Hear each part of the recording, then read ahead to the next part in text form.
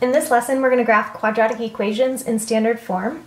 To start, I want to look at the definition of a standard form of a quadratic equation. It's y equals ax squared plus bx plus c, where a doesn't equal 0. So this is going to be your equation, and the graph will look like a parabola. Go ahead and start by graphing this parabola right here. I just want to point out a couple of things. This point right here is going to be called the vertex, and by definition it says it's the point where the graph changes direction. So the way you can kind of think of that is going from left to right. Starting on the left, this graph is going down, and then at the vertex, it changes and then starts to go up. And I want to point out the dotted line, it goes through the vertex and it's a vertical line. It's called the axis of symmetry. So that's going to be the line that the graph is going to be symmetric about. When graphing parabolas, we're going to identify the vertex. In order to find the vertex, we're going to use the formula x equals negative b over 2a. Some people say the opposite of b over 2a. Once you find this value, you'll plug it back into the equation and simplify to find the y-coordinate of the vertex. Once you have both values, you're going to rewrite your vertex in the form x comma y as an ordered pair. To identify the equation of the axis of symmetry, you're going to use that same equation x equals the negative b over 2a value that you found. A few more features about parabolas is you have a minimum or a maximum value for your parabola. It's either going to be the lowest or the highest point on that parabola, and the way you can find it is you look at the y-coordinate of the vertex. You have x-intercepts, where the graph crosses the x-axis. We also can call them zeros or roots. So we'll be identifying those, and then we'll also identify the y-intercept, and that's where the graph crosses the y-axis. Finally, we're going to identify the value of a. a is the value in front of the x squared term. If a is positive, the graph will open up. If a is negative, the graph will open down. And then last, for graphing, we want five points on our parabola. And we'll talk about how to do that when we graph these next examples. The example says, graph the quadratic equation in standard form and identify the following. Our first example, part A, says y equals x squared minus 2x minus 3. Go ahead and set up this ABC chart. A is the value in front of the x squared term. So if you look at x squared, in front, technically there's a positive 1. B is the value in front of the x term. So if we look right here, B is going to be negative 2, and C is going to be the constant, the value that does not have a variable. So our C value is negative 3. To find the vertex, we're using the formula x equals negative b over 2a. So I got this set up, negative, and then we're going to plug in the value for b right here. So I'm using parentheses so that I can help distinguish the negative versus the actual value. And then it's over 2a, so we're going to take a and plug it in right here. And when we simplify this, a negative times a negative makes positive 2 on top. 2 times 1 makes 2 in the denominator, and we get that x equals positive 1. Once you find x, you're going to take that value and plug it back in to find the corresponding y value. So I plugged 1 in for all the x's. Make sure to use parentheses because then you can work on your order of operations. 1 squared is 1. Right here, negative 2 times 1 makes negative 2, and then we have negative 3. So 1 minus 2 is negative 1. Negative 1 and negative 3 makes negative 4. So our vertex is 1 comma negative 4, and I'm going to write that right here. Your axis of symmetry is always going to be x equals the x value that you just got in your vertex. So our axis of symmetry for this problem is x equals 1. Next, I want to find the five points on this parabola.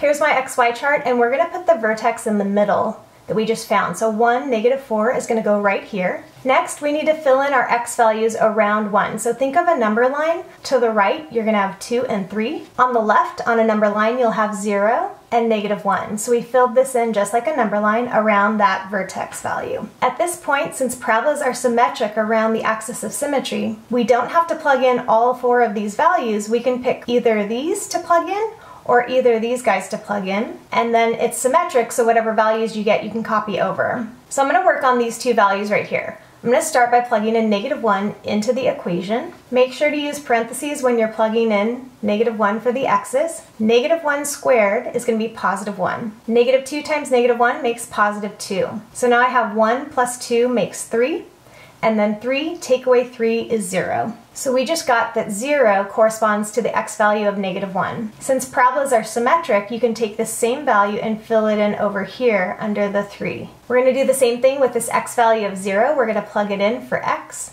And when you do so, you get 0 squared is 0, negative 2 times 0 is 0, and then when you add those to negative 3, you just get negative 3. So let's fill that in, plug in negative 3 right here. And again, because of the symmetry, we can take this negative 3 and also fill it in right here for the 2. Let's go ahead and plot all these points on the graph. I'm going to start with the vertex at 1, negative 4.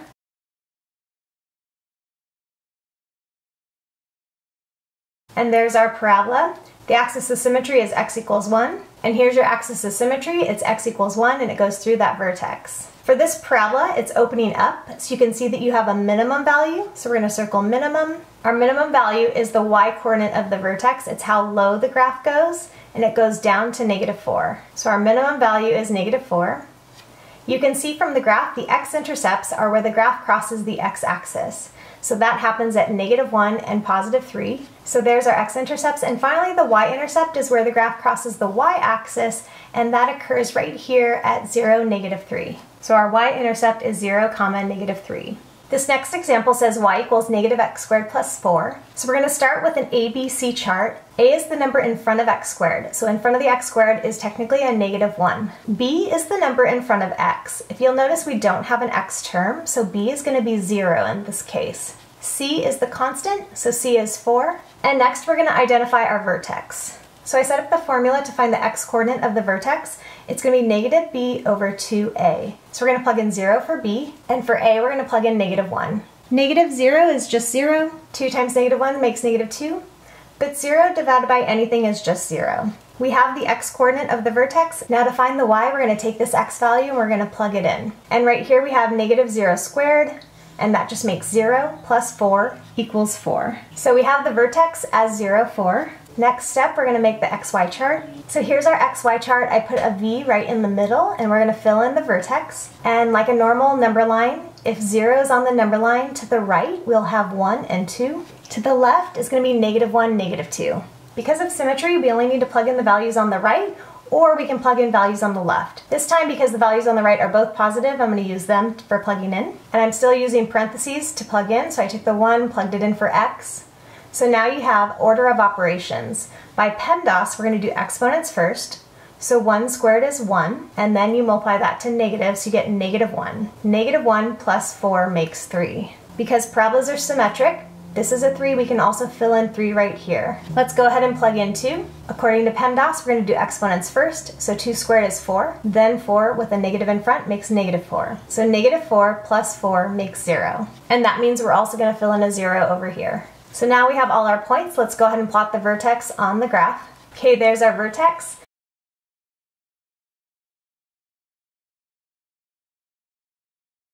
And there's our parabola. The axis of symmetry, always write it out with x and then the number. And x is equal to, and it's the x-coordinate of the vertex, so it's going to be 0. Next, looking at the a value, a is negative 1, which is less than 0.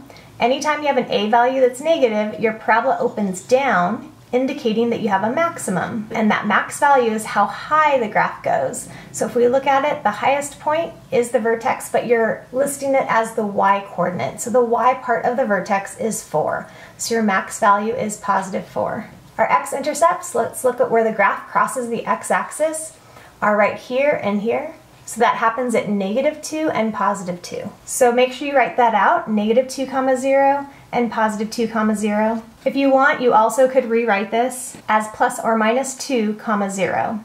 Either answer is fine. And finally, our y-intercept is where the graph hits the y-axis, and that happens right here at 0, 4. So our y-intercept is 0, comma 4. This example says y equals 2x squared plus 4x minus 6. a is in front of x squared, so a is 2. b is in front of x, so b is 4 and c is this negative 6. Next, we're going to find the vertex. So I wrote x equals negative, and then we're going to plug in b over 2 times a. This makes negative 4 over, and then multiply these and you get 4. So negative 4 divided by 4 makes negative 1. Now we're going to take this value and plug it in for all the x's to find our y value. Because this x value is negative, it's really important to use those parentheses when plugging in. According to PEMDAS, we're going to do exponents first. So negative 1 squared makes positive 1. Positive 1 times 2 is 2. Right here, 4 times negative 1 is negative 4.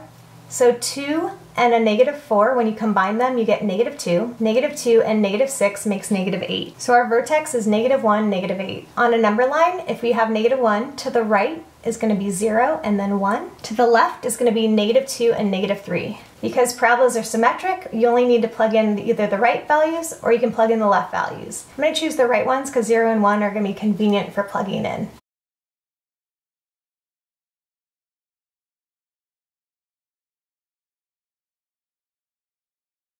Okay, let's go ahead and plot these points, starting with the vertex.